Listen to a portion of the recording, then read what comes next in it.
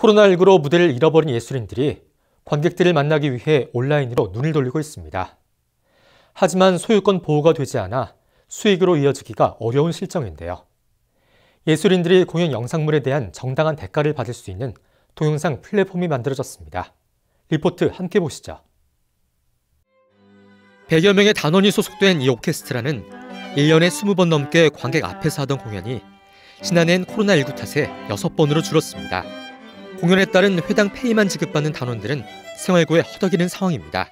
연주가 없어지니까 이렇게 그 택배 일을 하시거나 악기를 못 하시고 그리고 특히 관악기 같은 경우는 비말이 튀는 악기잖아요. 이렇게 아예 악기를 못 하시고 다른 직업군으로 옮기신 선생님들도 얘기를 들었습니다.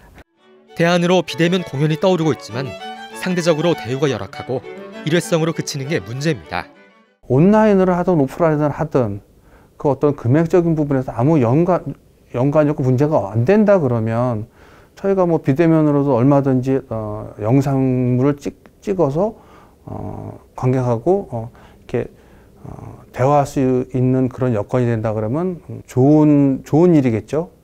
코로나19로 무대를 잃은 예술인들을 위한 온라인 동영상 플랫폼이 만들어졌습니다.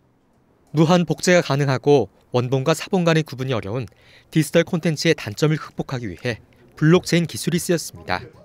도내 예술인들이 공연 영상을 촬영하면 경기 아트센터가 경기아트온에 등록한 후 원본이라는 것을 증명할 수 있는 NFT 형태의 영상 소유권을 줍니다.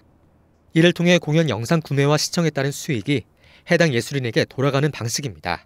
디지털 매체를 통해서 계속 보존이 되고 기록이 되고 이것을 나중에라도 감상하시고 싶어 하시는 소비자들에게 언제든지 어, 감상할 수 있고 전달이 될 수 있고 유통이 될 수 있는 구조가 된다면 공연을 진행하시는 예술가 그리고 공연 단체에게도 많은 도움이 될 것으로 저희는 생각을 하고 있습니다.